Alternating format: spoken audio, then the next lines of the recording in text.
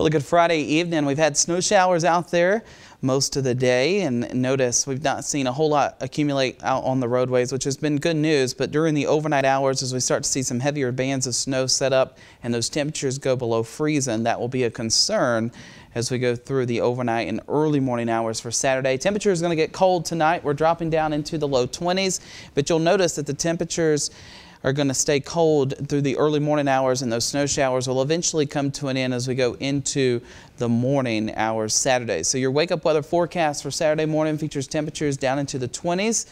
We will have some lingering snow showers through probably around 8 a.m. and then those will start to move on out and we'll start to see high pressure build in and dry us out. So it's cold tonight down into the 20s. Tomorrow we'll see temperatures warming up back to near 40. Winter weather alerts. We have a winter weather advisory in effect for western Greenbrier, Summers, Mercer, Tazewell, eastern Fayette, and also western Nicholas County until tomorrow morning. We have a winter storm warning in effect for western Pocahontas, eastern Webster, eastern Nicholas County through Saturday morning as well for additional snowfall. Futurecast showing we'll continue to see the snow showers out there tonight and then notice as we go into tomorrow morning things will start to lighten up a little bit. We'll start to see some sunshine break out during the afternoon hours and then you'll notice by tomorrow afternoon we're back to near 40 degrees with some sunshine and then on Sunday we'll start chilly and cold down into the 20s and then we'll warm almost to near 60 degrees for Sunday afternoon and yes Saturday night into Sunday we'll roll those clocks ahead one hour so the sunset will be later on Sunday which will be nice. Futurecast showing our big storm system pushing off to the north and to the east. High pressure building in from Canada, bringing with it those very cold temperatures across the region.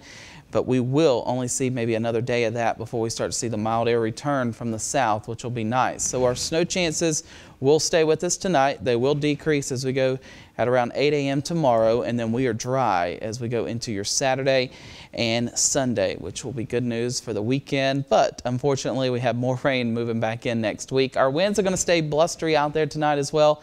Gust as high as 30, 35 miles an hour, but those will begin to relax as we go into your Saturday. Wind chill values tonight are down into the low teens for most of us, single digits up in the higher terrain and we'll start to see some warmer air move back in for tomorrow afternoon.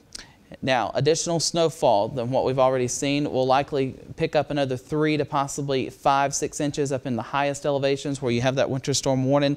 Everyone else probably another one to two inches on average out there. So again, we're not talking a whole lot across the lowlands, but nonetheless something that may be a nuisance as you head out tomorrow morning or late tonight. Temperatures in your seven day forecast, 39 tomorrow.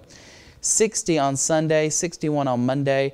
Rain returns Tuesday, Wednesday, lasting into Thursday and Friday. Temperatures, though, are staying well above average in the upper 50s, close to 60, and those overnight lows are in the 40s next week.